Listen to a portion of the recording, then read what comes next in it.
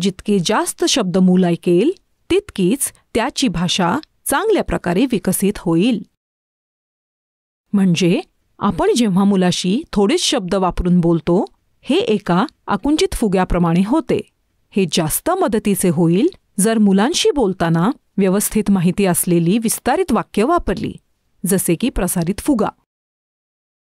उदाहरणार्थ बाहेर जा असं म्हणण्याऐवजी तुम्ही त्यांना असं म्हणू शकता बाहेर मित्रांसोबत खेळायला जा आणि छान वातावरणाचा आनंद घे. किंवा इकडे ये म्हणण्यापेक्षा इकडे ये आणि मी तुझे केस विंचरते म्हणजे तू आज छान दिसशील असं म्हणू शकता. नुसतं बघ असं म्हणण्यापेक्षा त्या नारंगी फुलावर बसलेले सुंदर फुलपाखरू बघ असे म्हणू शकता. असं केल्याने मुलाला नवीन शब्द शिकण्यास मदत होईल आणि त्यांचा वापर वाक्यात कसा करायचा हे समजेल.